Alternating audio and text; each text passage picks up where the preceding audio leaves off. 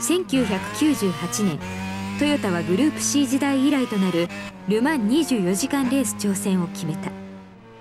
グループ C 時代のトヨタは日本国内を中心にした体制でマシンを開発。しかし今度はその体制を一新し世界ラリー選手権活動を担当してきたドイツのトヨタチームヨーロッパにプロジェクト全体を委託することにしたので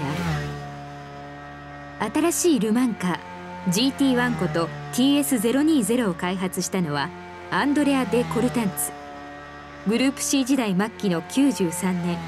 自然吸気エンジンを搭載したプジョー 905B を設計しル・マンを制覇した経歴を持つデ・コルタンツは最新の F1 技術をも盛り込んで新時代のル・マンカー TS020 をデザインした。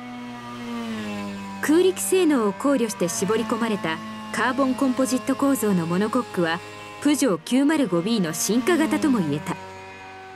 ここにグループ C カー時代に開発された排気量3.6リットルの V 型8気筒ツインターボエンジンを搭載。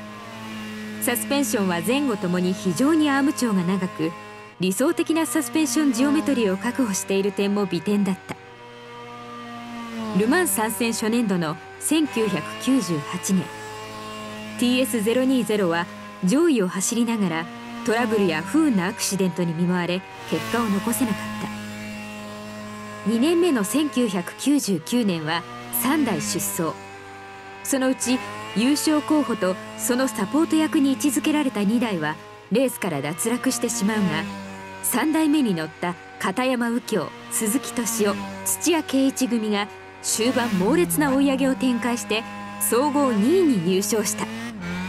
日本車に乗る日本人選手組として史上最高位を記録するという快挙を達成したのである。